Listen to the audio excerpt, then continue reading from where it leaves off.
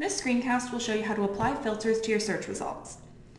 Search filters are another way that you can narrow down your results. However, when conducting a comprehensive search or a search for a systematic review, some filters available in the database will not be useful or appropriate.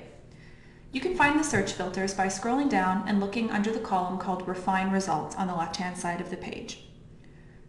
While limits can be very helpful for precision searching, they should always be used with caution. Let's start with probably the most trustworthy filter, the publication date limiter.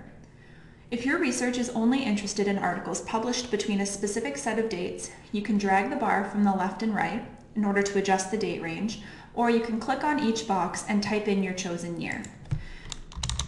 Doing this will automatically refresh the search results and also add a new line to the top of your search history.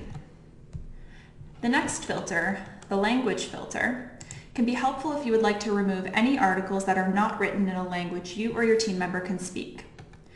The age, gender, and geography filters can be applied if you're only interested in retrieving results where a specific population is reported on, such as women aged 65 years plus in the United States.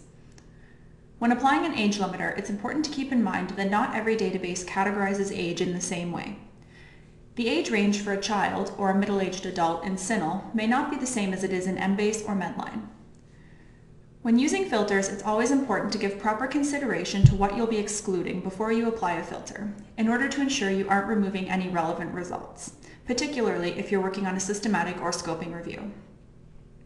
Most database filters are unvalidated and almost always over-limit a search.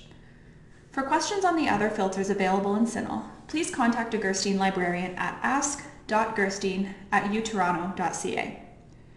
In the next video, I'll show you how you can save your search so you don't lose your work.